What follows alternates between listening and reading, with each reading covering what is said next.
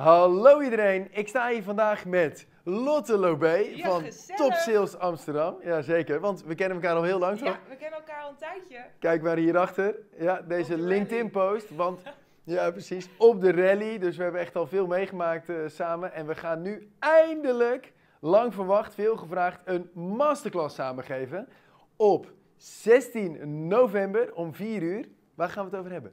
We gaan het hebben over hoe jij LinkedIn kunt inzetten om top of mind te worden. Dus we bekijken het ook vanuit een personal branding perspectief. Dus dat betekent als jij top of mind bent bij jouw doelgroep, dat ze als eerste aan jou denken wanneer er een behoefte voor doet. Dus eh, daar gaan we voor. En dan moet je natuurlijk wel heel duidelijk hebben waar ze jou voor kunnen bellen. Ja, En dan ook consistent daarover gaan delen. ja. Ehm, dus een hele belangrijke is om te gaan. Posten! Ja, ja. Nou, hierachter zie je al een voorbeeldje. Dit is een LinkedIn-post. Zo gaan we het niet doen. Zo gaan we het misschien niet doen. Maar wat wel heel leuk is, we gaan na de masterclass een interactieve workshop organiseren. En we gaan samen met jullie posten. Yes. En dan zorgen we ervoor dat je top of mind wordt. Woehoe! Tot 16 november. Tot dan! Ai ai.